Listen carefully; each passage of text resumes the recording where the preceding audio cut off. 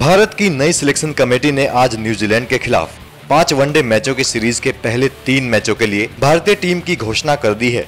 महेंद्र सिंह धोनी की अगुवाई में ये 15 सदस्यीय टीम 16 से 29 अक्टूबर के बीच कीवी टीम के खिलाफ पाँच मैचों की वनडे सीरीज़ खेलेगी।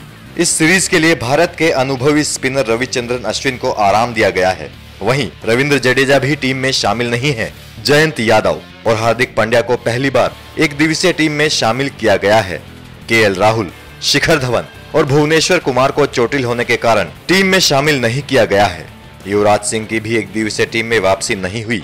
लेकिन सुरेश रैना एक बार फिर एक दिवसीय टीम में अपनी जगह बनाने में कामयाब रहे।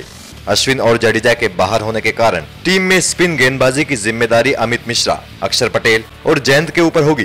तेज गेंदबाजों में जसप्रीत बुमराह, उमेश यादव और धवल कुलकर्णी को टीम में जगह मिली है। वहीं मोहम्मद शमी को भी आराम दिया गया है।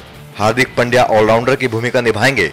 बल्लेबाजी में कप्तान धोनी और उप कप्तान कोहली के अलावा रोहित शर्मा, अजिंक्य रहाणे, सुरेश रैना और मनीष पांडे टीम में शामिल हैं। न्यूजीलैंड के खिलाफ 16 अक्टूबर को धर्मशाला में पहला वनडे मैच खेला जाएगा। इसके बाद 20 अक्टूबर को दिल्ली में दूसरा और 23 अक्टूबर को मोहाली में तीसरा वनडे मैच खेला जाएगा। आखिरी दो वनडे मैच 26 अक्टूबर को रांची और 29 अक्टूबर को विशाखापत्तनम में खेले जाएँगे और इन दोनों मैचों के लिए टीम की घोषणा बाद में की जाएगी।